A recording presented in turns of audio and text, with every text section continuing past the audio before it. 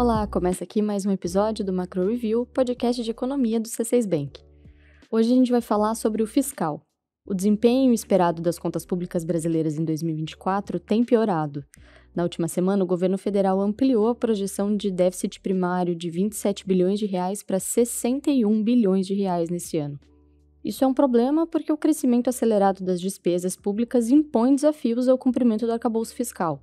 A conta não fecha, isso indica que a regra fiscal pode ser flexibilizada logo no seu primeiro ano de pleno funcionamento.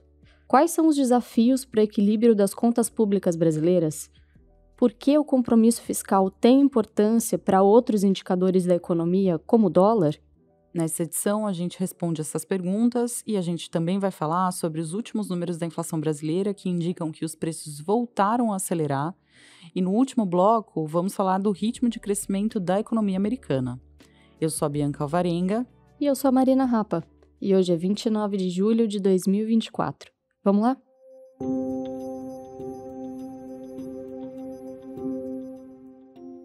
Na última semana, o governo divulgou o relatório bimestral de receitas e despesas primárias do terceiro trimestre. O documento trouxe más notícias para as contas públicas. A projeção de déficit fiscal, que é o cálculo que subtrai receitas de despesas sem considerar o pagamento de juros da dívida, esse saldo negativo mais do que dobrou e foi para 61 bilhões de reais. É importante dizer que dentro desse déficit estimado em 61 bilhões de reais, há despesas como os 27 bilhões de reais distribuídos em auxílio ao Rio Grande do Sul. Esse valor representa uma piora no resultado do governo, mas por ser um valor extraordinário, ele não vai entrar no cálculo oficial da meta fiscal. Agora, para além do que é extraordinário, a gente vai analisar aqui os detalhes da piora do saldo das contas públicas. Primeiro, a expectativa de receita líquida encolheu em 13 bilhões de reais, Houve, por exemplo, revisão para baixo da previsão de arrecadação com a retomada do voto de qualidade do Conselho Administrativo de Recursos Fiscais, o CARF. O secretário especial da Receita Federal, Robson Barreirinhas, disse que a greve dos servidores no CARF diminuiu o impacto arrecadatório dessa mudança em 2024. Além da receita ter piorado, as despesas projetadas subiram quase 21 bilhões de reais. O orçamento do governo deve seguir o que determina o arcabouço fiscal, que é o conjunto de regras de controle de despesas criado em abril de 2023. O arcabouço tem dois pontos fundamentais: o estabelecimento de uma meta para o resultado primário e o limite de 2,5% para o avanço real dos gastos. A questão é que, diante da trajetória crescente de gastos obrigatórios, como o próprio pagamento de benefícios previdenciários e assistenciais, essas duas regras estão sob risco. Enquanto o teto para o crescimento total de despesas é de 2,5%, como eu falei agora, alguns gastos de peso relevante estão avançando bem além desse ritmo. Por exemplo, os pagamentos com Previdência e BPC, que devem subir 4% e 11%, respectivamente, neste ano. Para compensar esses gastos que estão crescendo de forma acelerada, o governo vai precisar promover cortes na parte discricionária do orçamento. Mas existe um limite para esse enxugamento de despesas, porque é justamente a fatia discricionária que custeia, por exemplo, parte dos ministérios e o próprio funcionamento da máquina pública. A gente até explicou melhor o que é o gasto obrigatório e o que é o gasto discricionário no nosso episódio 111. E bom, para seguir a regra, o governo bloqueou na semana passada 11 bilhões de reais em despesas em 2024, mirando então o limite de gastos imposto pelo arcabouço. Outros quase 4 bilhões de reais foram contingenciados para buscar o cumprimento da banda inferior da meta fiscal que o governo assumiu para 2024. A soma das duas coisas, que chega a 15 bilhões de reais, essa soma ficou abaixo do que esperavam os analistas de mercado. Na nossa visão, o valor total em bloqueio e contingenciamento deveria ser algo em torno de 30 bilhões de reais para garantir que o arcabouço fiscal será cumprido nesse ano. É o dobro do que foi anunciado.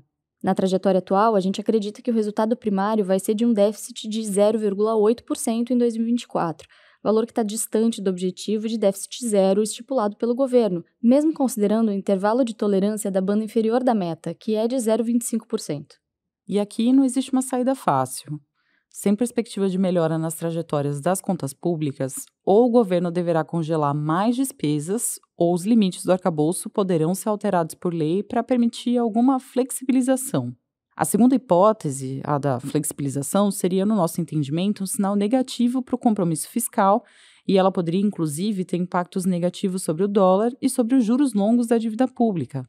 Tanto assim que, diante do anúncio do bloqueio e de contingenciamento menores do que o esperado, o câmbio voltou a depreciar. O dólar encerrou a última semana em R$ 5,66, um patamar que retrata a desconfiança dos investidores em relação ao fiscal. E essa desconfiança não se resume só à situação de 2024. O governo ainda não conseguiu aprovar a proposta orçamentária do ano que vem, e o tempo está correndo porque o prazo para isso acontecer é até 31 de agosto. Por enquanto, não se espera uma grande melhora do quadro fiscal em 2025. Ou seja, a gente pode ter mais um ano de despesas crescendo além do desejado, o que fragiliza ainda mais o cumprimento do arcabouço fiscal. O Felipe Salles, economista-chefe aqui do C6 Bank, dá um panorama de como devem ficar as contas públicas no ano que vem e quais soluções estão em pauta para melhorar esse quadro. Vamos ouvi-lo.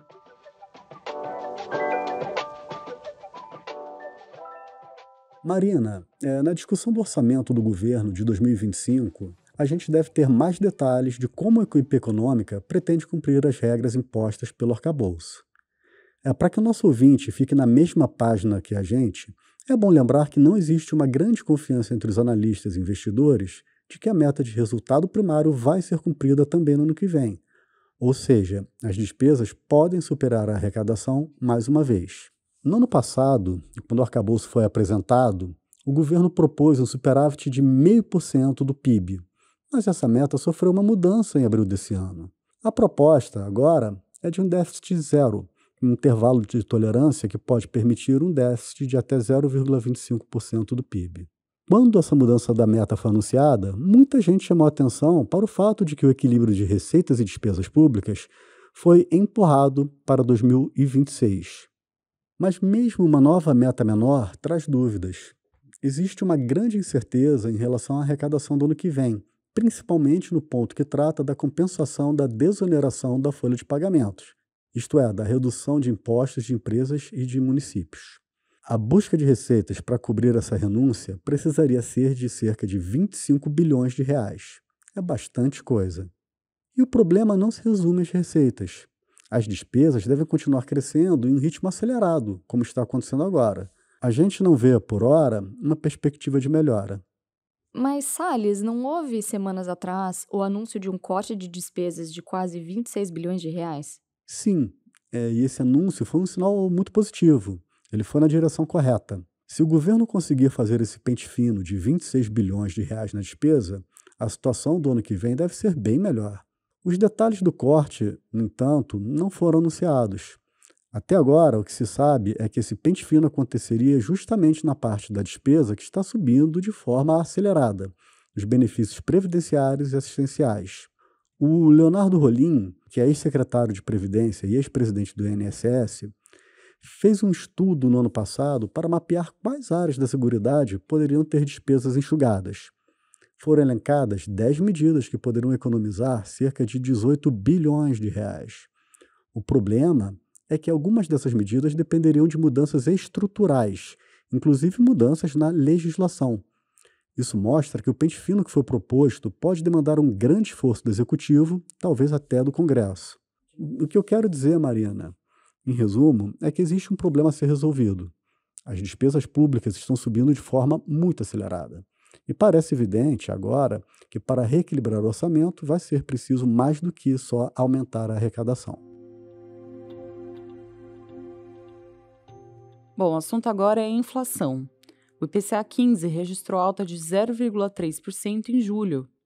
A prévia da inflação brasileira, divulgada pelo IBGE, veio acima da expectativa dos analistas de mercado. A maior preocupação continua sendo o setor de serviços, cujo desempenho foi puxado pela forte alta no preço das passagens aéreas. Só em julho, as passagens subiram 19%.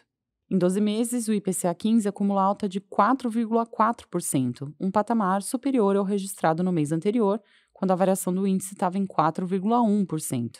Ou seja, a inflação voltou à escala de graus. Isso porque, à medida que a deflação dos alimentos que foi vista lá entre junho e outubro do ano passado começa a sair da fotografia do IPCA 15 acumulada em 12 meses, o índice volta então a subir. Além disso, o mercado de trabalho forte e o fim da queda de preços das commodities, que ajudou a reduzir a inflação no primeiro semestre deste ano, Essa combinação de todos esses fatores sugere que o IPCA vai continuar em alta no futuro próximo. A gente acredita que a inflação vai encerrar 2024 em 4,7% e terminar 2025 em 5%. Agora a gente fala de Estados Unidos. Por lá, o PIB cresceu 2,8% no segundo trimestre do ano. O resultado, em termos anualizados, veio bem acima das expectativas de analistas de mercado, que estimavam uma alta de 2% o crescimento da economia americana foi puxado pelo consumo das famílias, que representou a maior parte da variação do PIB. A demanda dos consumidores é resultado do mercado de trabalho aquecido, que mantém os salários americanos crescendo acima da inflação. Além do PIB, foi divulgada também na semana passada a inflação americana medida pelo Índice de Preços de Gastos com Consumo, o índice PCI. Nos 12 meses até junho, o núcleo do PCI, que exclui itens mais voláteis, esse núcleo ficou estacionado em 2,6%, ainda acima da meta de 2%. Então, apesar de os preços não terem voltado para o nível desejado pelo Federal Reserve, a gente acredita que o Banco Central americano deve começar o ciclo de flexibilização dos juros ainda neste ano. A decisão deve ser tomada com base na desaceleração recente dos indicadores de mercado de trabalho e de inflação. A gente acredita que o corte de juros americanos deve acontecer mais perto do fim do ano. Hora da nossa agenda, que nessa semana está bem cheia. Inclusive, os bancos centrais vão estar tá bastante ativos. Só nessa semana a gente tem três decisões de política monetária. Bom, vamos agora aos dados econômicos que a nossa equipe acompanha nos próximos dias. Na terça-feira, 30 de julho, sai o PIB do segundo trimestre da zona do euro. A expectativa é que a economia continue com um desempenho modesto em meio à política monetária restritiva para diminuir a inflação por lá. Na quarta-feira, também na zona do euro, vão ser divulgados dados de inflação. A nossa expectativa é que o índice continue desacelerando, aumentando chances de um novo corte de juros na próxima reunião do Banco Central Europeu. Também na quarta-feira à tarde, tem decisão de política monetária nos Estados Unidos. A nossa expectativa é que o Fed mantenha a taxa de juros no nível atual, mas prepare terreno para um possível corte de juros à frente. No mesmo dia, o Banco Central aqui do Brasil também divulga a decisão do Comitê de Política Monetária. A gente espera que a Selic permaneça no patamar atual de 10,5%. Seguindo na quarta, e ainda no Brasil, o IBGE publicará a PNAD de junho. A gente projeta que a taxa de desemprego tenha encerrado o trimestre em 6,8%, a menor para o mês de junho desde o início da série. Agora, na quinta-feira, 1 de agosto, é dia do Banco da Inglaterra divulgar a decisão de política monetária. A expectativa é que a autoridade mantenha os juros no patamar atual, que é de 5,25%, esperando por mais evidências de esfriamento da inflação. Na sexta-feira, saem os dados do relatório de emprego dos Estados Unidos. A gente acredita que o payroll de julho continuará mostrando um mercado de trabalho desaquecendo lentamente em território americano. E agora sim, para fechar a semana, o IBGE divulgará a produção industrial mensal brasileira de junho. A gente projeta um crescimento positivo no mês, tanto na indústria extrativa quanto na indústria de transformação. Bom, é isso, chegamos ao fim do episódio. Muito obrigada a você que nos acompanhou até aqui. Se você está ouvindo esse episódio e quer compartilhar com a gente o que achou, é só escrever na caixa de perguntas que fica logo abaixo da descrição do episódio no Spotify ou ali no campo de comentários do YouTube. Quem faz parte da equipe econômica do C6 Bank são o Felipe Sales, a Cláudia Moreno, a Cláudia Rodrigues, o Eliezer Jacob e o Felipe Mack. A produção e roteiro são desse time todo, junto com Bianca Alvarenga e Marina Rapa. A edição de som é da Thaís Andréa. A gravação fica com a Rafaela de Oliveira e a divulgação nas redes sociais com a Maria Fernanda Pedroso. Lembrando que você pode seguir o Macro Review na sua plataforma favorita de podcasts. Assim, quando a gente publicar um novo episódio, você vai ser notificado. É bom para quem quer ficar por dentro da economia e para quem quer conhecer uma visão original dos fatos econômicos. Uma boa semana para você e até a próxima!